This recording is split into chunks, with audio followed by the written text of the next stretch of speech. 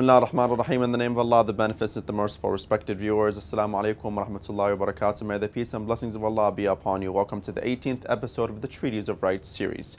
Today we will discuss the right of the caller to prayer. Regarding this, Imam Sajjad Zain al-Abidin, Allah's peace and blessings be upon him, has said, and the right of your caller to prayer is that you should know that he is the one reminding you of your Lord and is calling you to your good fortune and is your greatest helper in fulfilling an obligation that God has made incumbent upon you. Therefore, thank Him for that, just as you thank one who does some good to you. And if you are upset with Him at home due to this, you should not accuse Him for this, since His act is for God, and you should know that He is the one of the blessings of God for you. There is no doubt about that then you should kindly treat God's blessing by praising God for him under all circumstances, and there is no power but in God. Calling to prayer is probably the most sacred job or duty anyone can possess.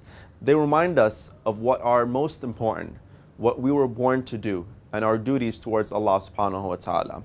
Now, this individual who calls us to prayer, don't they have rights incumbent upon us? Obviously, they do, and that is for the following reasons. The first reason is that He is the one who reminds us of our Lord. The second reason is that He is the one who unites us to get the benefits that we can derive from praying. And finally, the third reason being that He is our best assistant in fulfilling a mandatory duty. Therefore, we must thank Him in such a way that we thank one who does good to us. If we are upset with Him, we should not accuse Him since His act is for the sake of God. We should know that He is one of God's blessings we should treat him with kindness and be grateful to him. Materialistic forces draw us away from God. It is the one who calls us to prayer, who reminds us of the Lord. He helps save us from indulging in materialistic pleasures. He assists us towards performing the prayer that helps us prosper. A high value has been recorded for the one who calls to prayer. In his traditions and books, and on Islamic jurisprudence. Few have been promised the rewards that those who call the people to prayer have been promised. What does the adhan mean? Does it have a specific meaning? And is it mentioned in the Holy Quran? What is the history behind adhan? And what does the jurisprudence say regarding this matter? Adhan in Arabic means announcement. Considering the following verse, and an announcement from God and His apostle, the Holy Quran Al-Tawbah chapter 9 verse 3. The caller to prayer loudly announces that it is time to pray. We read in the following verse, But a crier shall proclaim between them. The Holy Quran Al-Araf chapter 7 verse 44. The decree to call for prayers was revealed in the first year of the immigration of the noble prophet to Medina. Other dates are also recorded. The need for it became apparent when the number of Muslims became so many that it was hard for them all to know when to pray. They talked to each other and decided to establish a sign indicating that it is time to pray. Some just some suggested to ring a bell, but the Prophet did not agree since this was a Christian practice. Some suggested the use of a horn, but the Prophet did not agree since this was a Jewish practice. Some suggested playing on the tambourine, but the Prophet said that this was a Roman practice. Others suggested using fire, but the Prophet said this was a practice of the Magians. Some suggested raising a flag, but the Prophet did not say anything. Therefore, they did not settle on anything specific. Gabriel descended when the Prophet was in Ali's house and revealed the decree for the call to prayer.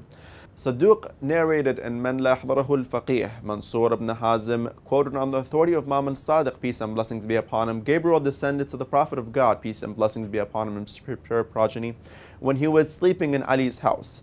Gabriel recited the adhan and the iqamah. Then the Prophet said, O Ali, did you hear that? He said, O Prophet of God, yes. Then the Prophet said, Did you memorize it? Oh, Imam Ali, peace be upon him, said, Yes. Then the Prophet said, Then teach it to Bilal. Then Ali taught it to Bilal.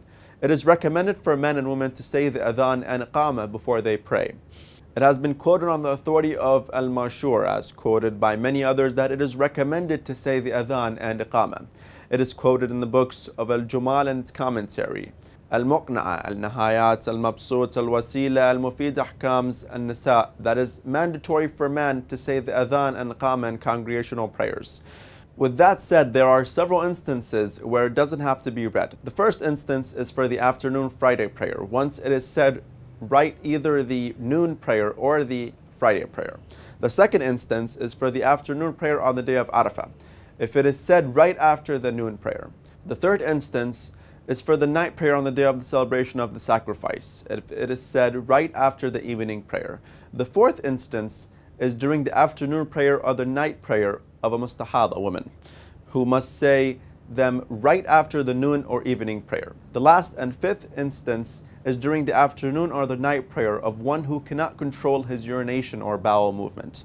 In the instances mentioned earlier, there is no need to say the adhan if the prayers are said right, one after the other, or shortly thereafter.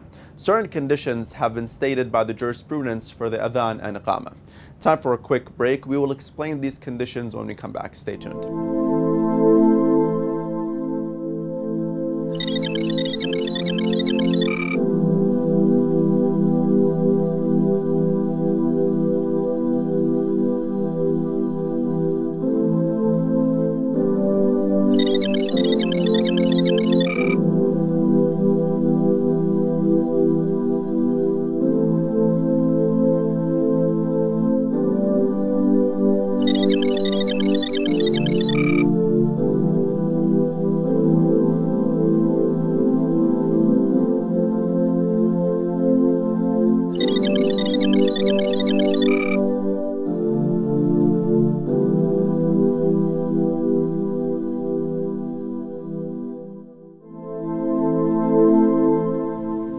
First, one must have the intention to say the adhan or an from the start to the end. Therefore, if one says them without intending to approach God, it is not accepted of him. Secondly, the one who says the adhan and the must have faith. However, it is not required for the one who says the call to prayer to be mature, especially when it is used an announcement. However, all the jurisprudence require that the one who says the call to prayer as an announcement should be a man.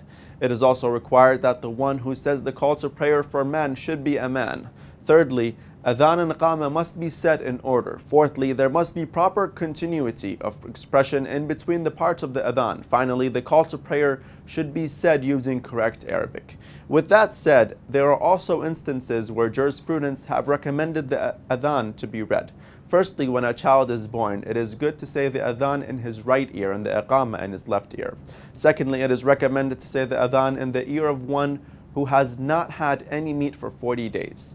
Now, as us, Shias stress the importance of adhan and iqamah and view it as highly recommended.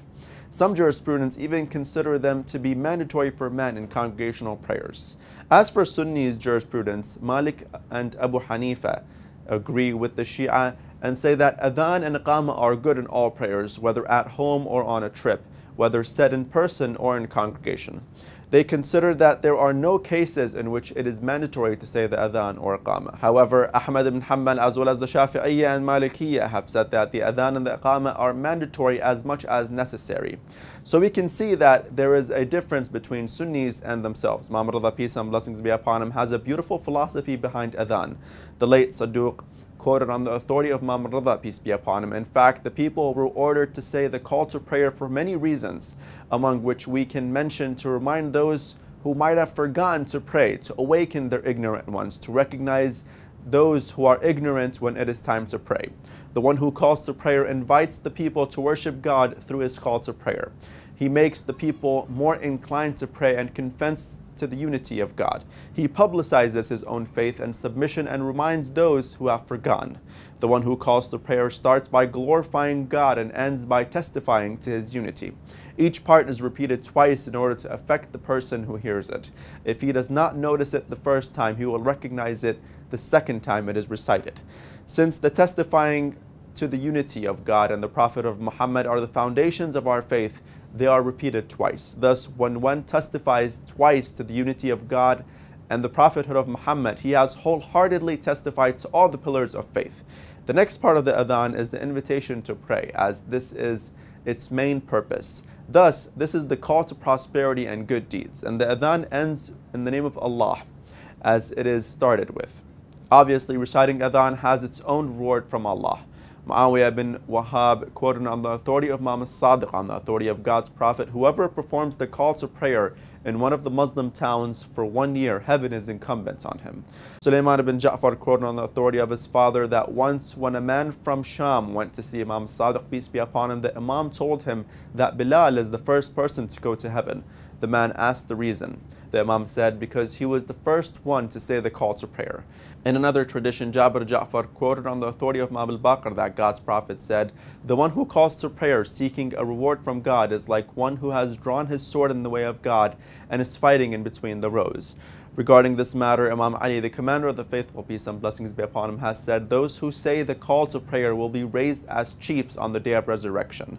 The late Saduq quoted on the authority of Manafi tradition, on the authority of Ja'far ibn Muhammad, on the authority of his father, on the authority of God's prophet, peace be upon him, and his pure progeny, God the High will grant the reward of 40,000 martyrs and 40,000 veracious ones to whoever says the call to prayer for the sake of God. Due to such a person, 40,000 sinners from my nation should be allowed into heaven. Indeed, when the one who says the call to prayer testifies to the unity of God, 70,000 angels will send greetings to him and seek God's forgiveness for him. They will be in the shade of the Lord's throne on the resurrection day until God finishes the reckoning of all people. 40,000 angels will record the reward of his testifying to the prophethood of Muhammad. With that, we can clearly conclude that Adhan has its own special reward that no other deed will reach. We have reached the end of this episode. Stay tuned for another episode on the Treatise of Rights. Thank you all for watching and may Allah hasten the reappearance of our beloved Imam Mahdi, peace and blessings be upon him. Wassalamu alaikum wa rahmatullahi wa. からず。